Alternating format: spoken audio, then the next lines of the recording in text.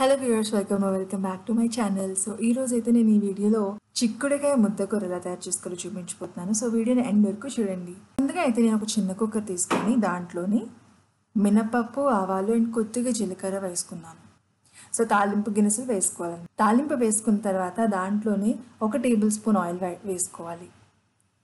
అందులోనే రెండు ఎండుమిరపకాయలు తుంచుకొని వేసుకోవాలి. దానిలోనే ఉల్లిపాయ అండ్ పొటాటో ముక్కలు వేసుకోవాలి. దానిలోనే ఒక మీడియం సైజ్ టమాటో ముక్కలను కూడా వేసుకోవాలి. ఇప్పుడు ఒక టేబుల్ స్పూన్ కారము ఒక టేబుల్ స్పూన్ ఉప్పు వేసుకొని అందులోనే half teaspoon garam masala ఒకవేళ మీరు మసాలా ఎక్కువ వేసుకోవాలనుకుంటే వేసుకోవచ్చు. ఇవన్నీ వేసుకున్న తర్వాత బాగా కలుపుకోండి.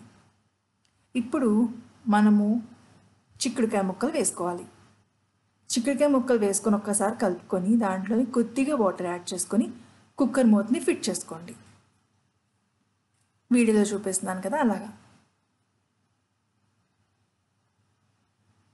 సో ఇప్పుడు మనం అది టూ విజిల్స్ వచ్చినంత వరకు కుక్ చేసుకోవాలి.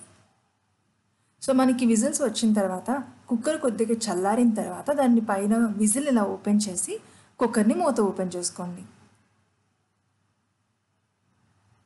ఇప్పుడు బాగా కలుపుకోండి.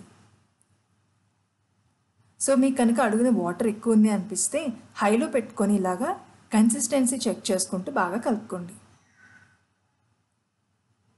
సో మనకి అది లిక్విడ్గా ఉండకూడదు సెమీ లిక్విడ్గా ఉండాలి. సో మనకి సెమీ లిక్విడ్గా ఉంది అన్న అని వచ్చినప్పుడు మనం స్టవ్ ఆఫ్ చేసేసుకొని సర్వ్ చేసుకోవడమే.